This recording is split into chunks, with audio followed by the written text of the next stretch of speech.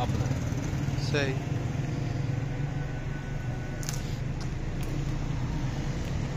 मेरा फन लाता नहीं होना अच्छा अच्छा।